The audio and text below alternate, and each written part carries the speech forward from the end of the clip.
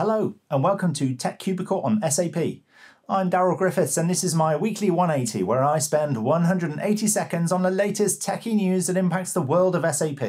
At the end, I'll pick my favourite to review in a little more detail in the cubicle.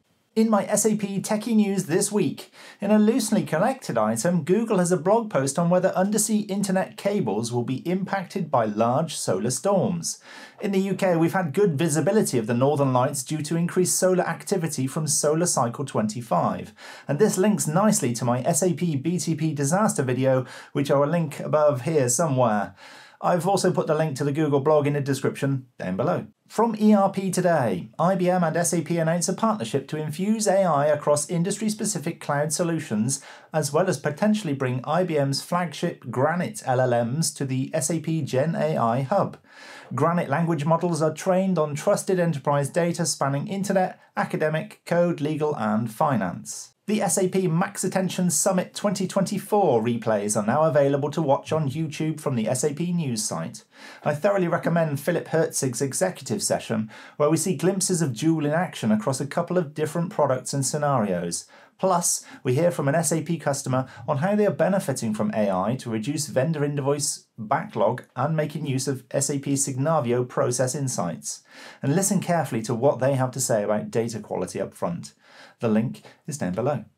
Hasso Plattner, the last SAP founder still working for SAP, steps down from his role on the SAP Supervisory Board on May the 15th this year.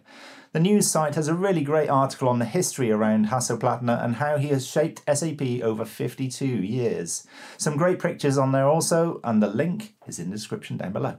On Business Wire, an article on Boomi's Boomi for SAP product, simplifying the move from SAP BW to SAP DataSphere. The article describes the Boomi for SAP as a low code integration platform on AWS. The Boomi solution delivers a more efficient path to SAP DataSphere without the need to upgrade BW, as well as providing a form of data tiering by allowing aged data to be pushed out to Amazon Redshift, which implies is cheaper hosting than SAP DataSphere.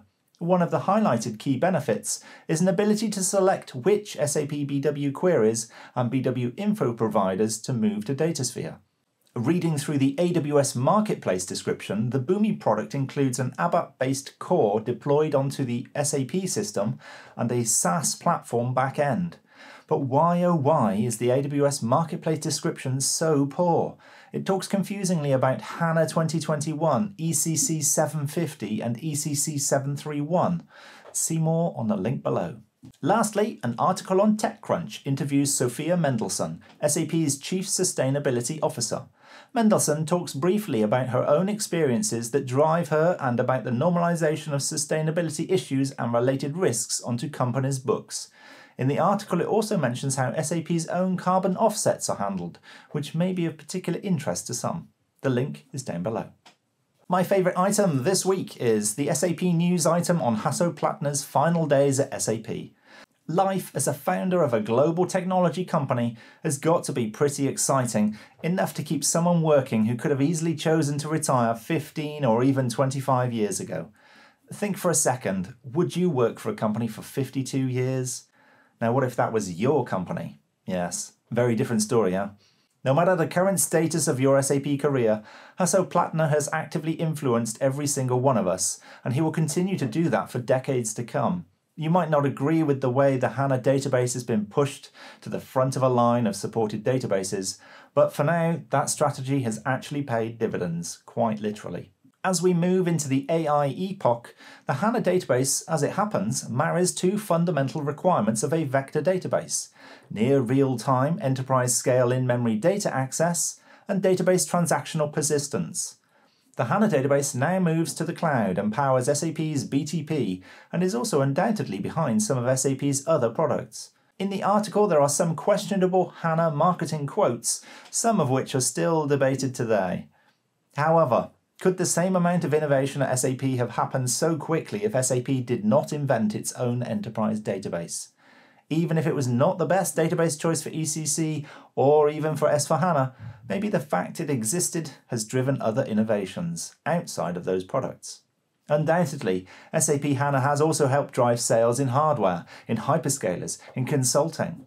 in some way or another Hasso Plattner's quote about HANA saving SAP? He might be right.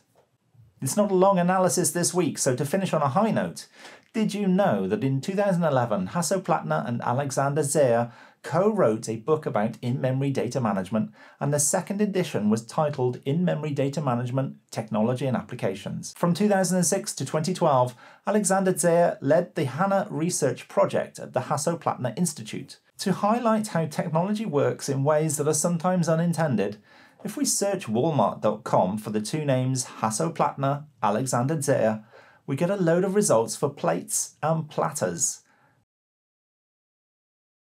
and, oh wait, a highly technical, in-depth analysis of the impact of in-memory data management. As always, reference links are in the description down below, drop me a comment, give the video a thumbs up, and most importantly subscribe to the channel. Thanks for watching, bye bye. From SAP BW,